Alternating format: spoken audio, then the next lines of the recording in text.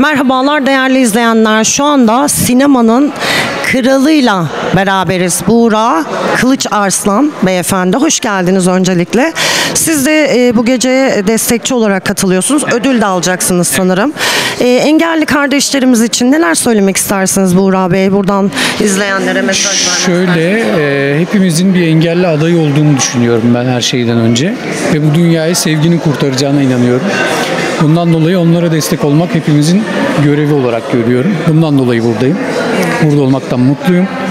İyi ki varlar. Hepimiz iyi ki varız. Biz de sizlerle olmaktan dolayı çok mutluyuz. Ee, Buğra Bey e, projeleriniz var mı? Dizi çekimleri var sanırım. Yeni projeleriniz var. E, Sizi merak edenler için biraz bilgi verir misiniz? Eylül için e, çok güzel bir projemiz var. Yine oradaki e, benim yani senaryo bir engelli bir karakter. Maalesef e, onları canlandırmak zorunda kalacağım. Şunun için söylüyorum. e, onların yerinde olmayı açıkçası ister miyim bilmiyorum ama e, sosyal bir proje olduğundan dolayı açıkçası yapamamaktan çok korkuyorum. Çok duygulu olacağına inanıyorum bu şekilde. Ee, onun haricinde yine dizi projeleri var. ATV'de çok güzel bir dizi, dizi projesi var. Evet. Trabzon'da çekilecek.